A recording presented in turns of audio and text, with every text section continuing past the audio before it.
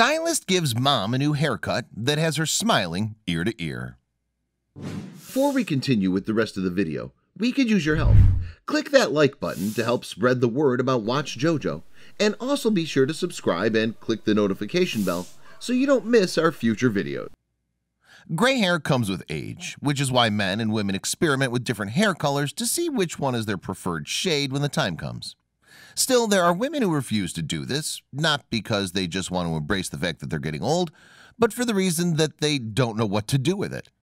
Pat Thomas is 65 years old, and she's one of these women who just resigned to her fate and learned to live with her gray hair. Little did she know that she'd soon go through a change of heart after she elected to submit herself for a total makeover. What made this experience more special is that her makeover will be assisted by one of the best in the industry. Christopher John Hopkins, also known as the Makeover Guy, will be helping her through the makeover. Pat enlisted his help to help her change her look, and she was ready to be transformed into a true rock star look. Unlike those who are doing the makeover themselves, Pat has a different reason for doing this. She has her husband in mind while making this decision. Even though he constantly told her that she was beautiful as she was, Pat still wanted to give him a special gift. He said, Honey, you're already beautiful. You don't have to do this. And I said, Yes, I do. Pat shared during her interview. Before the makeover, Pat told Christopher that she'd be willing to do anything that he asked, and the only thing that she can't do is dye her hair.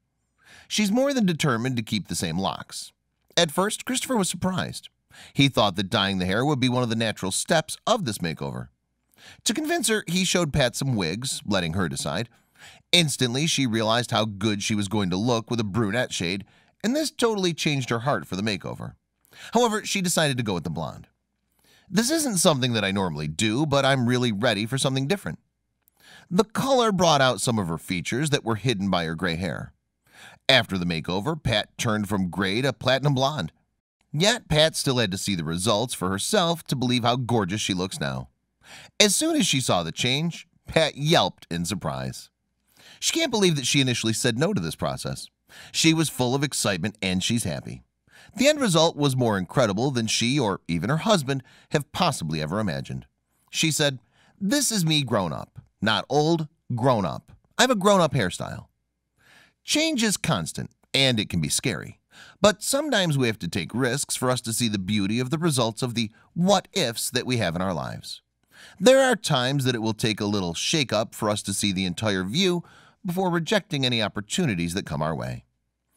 Pat may have been doubtful when it comes to changing her hair color in the beginning, but by letting someone do what's best for her who knows better about makeovers, and by putting a little bit of trust to a stranger, her decision was all worth it.